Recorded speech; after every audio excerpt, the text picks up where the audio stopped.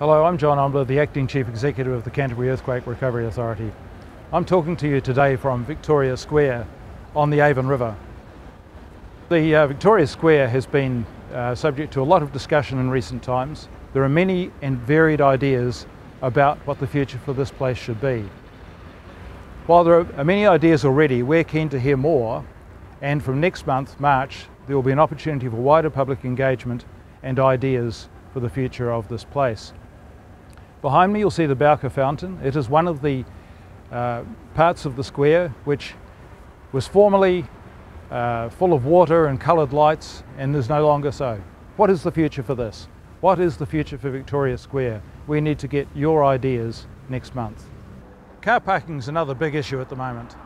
And while we're trying to make the city friendly for pedestrians and cyclists, coming into the central city in the car is still going to be an important thing. And it's important that adequate car parking is provided.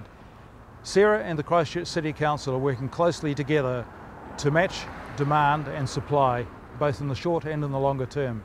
The Christchurch City Council has funding set aside in its three-year plan to replace damaged car parks in both Manchester and Lichfield streets. Of course there's also a role for the private sector and at the Crossings car park near the bus interchange there is a car park planned which will cater for up to 534 car parks. We'll continue to work closely with the Christchurch City Council to ensure that car park needs are met. These are exciting times for Christchurch. We've seen the opening of the Cricket World Cup. We're now seeing the Cricket World Cup in full swing.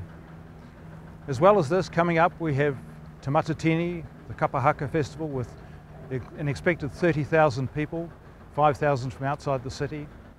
And following that, we have the FIFA Under 20 World Cup.